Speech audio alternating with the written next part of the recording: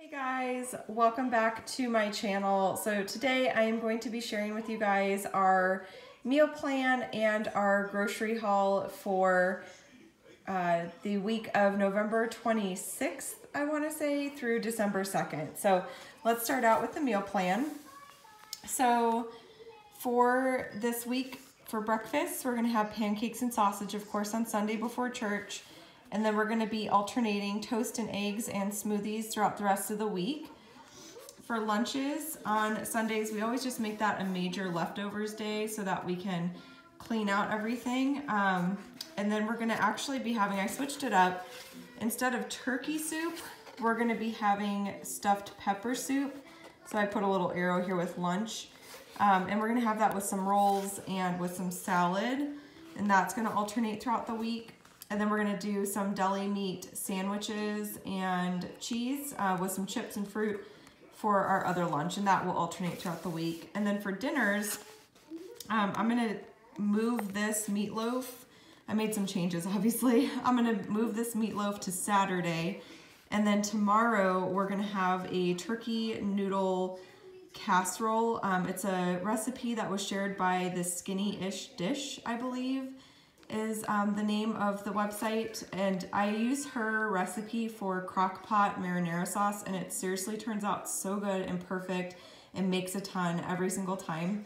She's really great about um, providing like good, really good um, WW or Weight Watchers recipes that are low in points.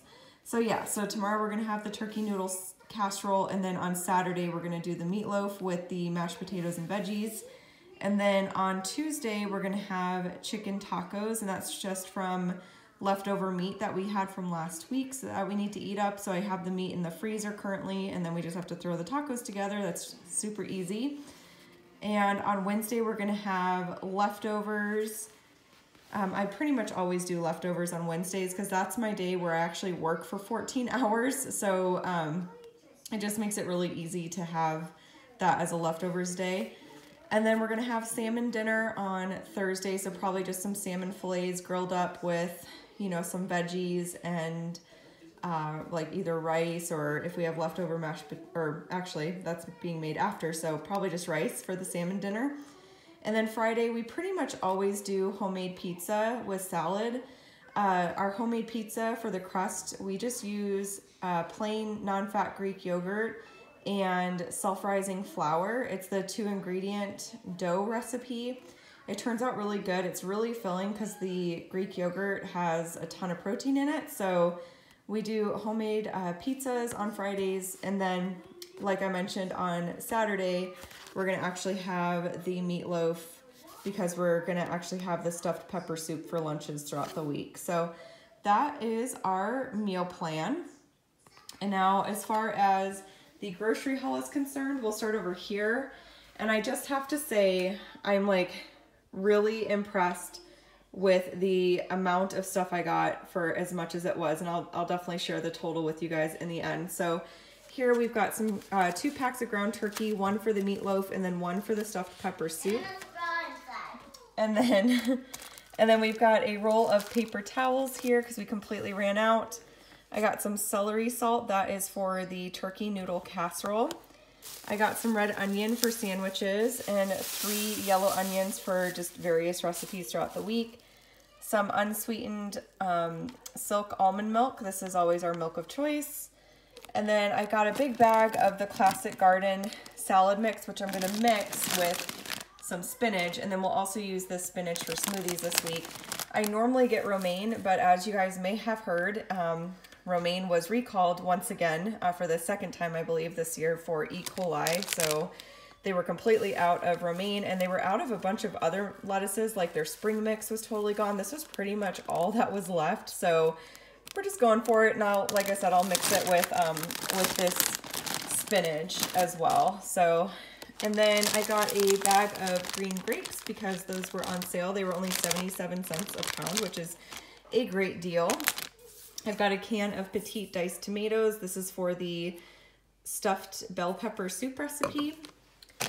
And then I've got a bag of cauliflower florets. I'm gonna use half of this for roasted cauliflower, which I believe I'm gonna serve with our salmon. And then I'm gonna use the other half to mix in with the mashed potatoes. It's just kind of a, a sneaky way of sneaking in veggies and also uh, lightening up, you know, a traditional mashed potato recipe. So I really like doing that. And then I've got some Halo uh, clementines here. These are my favorite. They're in season right now, and I love these just to have as a snack or on the side with breakfast. It's really, really good. Back here, I've got some Sara Lee 45 calorie bread. Uh, this is the bread that I really prefer to get being on WW. And then I've got a bag of pears here for my husband. This was a, requ a request from him. He's been wanting pears for a while and they were on sale, so I picked some up. And then I've got four Gala apples here. We've got some in the fridge still, so I only needed four. And then I picked up some pumpkin spice uh, K-cups. And I hope these are K-cups. Yeah, they're K-cups. Um, for my husband. These were on sale, so I decided to pick these up. It was only like $3.39 or something like that for this box, so really good, um, really good price for that. And then I got a thing of eggs because we did finally run out of our 60 eggs we got at the beginning of the month. So this is just an 18 count of eggs. I got a, a couple cartons of the um, low sodium chicken broth. That's for the stuffed pepper soup recipe and also for the turkey noodle casserole.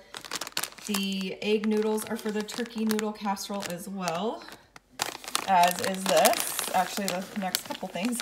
this is also for the turkey noodle recipe, and these Ritz crackers are for the turkey noodle recipe too. And then I've also got a block of cheese in the fridge, so I figured cheese and crackers would be a good snack for us for the week. And then I've got a red bell pepper and a green bell pepper. That is for obviously the stuffed bell pepper soup. I got some iceberg lettuce. Um, their iceberg lettuce was looking really, really sad this week. This was the best one that I could find. So there's that. And then I got some pop chips for the side of sa um, sandwiches.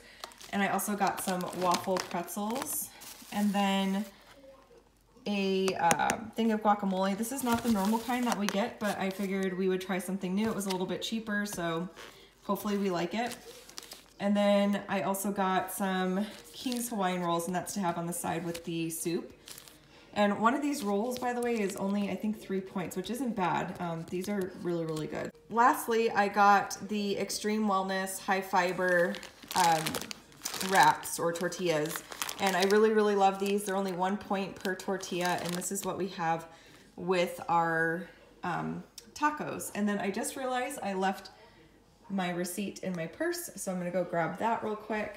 Okay, so our total at Fry's today was dun, dun, dun, dun, $70.62. We were $9.38 under budget, which was, in my opinion, really awesome. I'm really, really glad that we did this whole $80 a week grocery challenge to pay off our credit card um, it's worked out really well for us and I think I'm actually going to lower our weekly grocery budget because I'm finding from doing this that we really can stick to a lower grocery budget. It's not that bad at all. I think I will up it obviously a bit from the 80 because there are some things that we haven't been getting like we really really love the boar's head lunch meat and cheese so and that's kind of a little bit pricier so there are some things that we've been sacrificing but overall, I mean, I feel like we've been eating really well and I've been able to, you know, stick to the $80 a week budget really, really easily. So I might up our budget to like, like 100 or 120. I'm not 100% sure yet, but yeah, so that's pretty much it for this video. I hope that you all enjoyed it.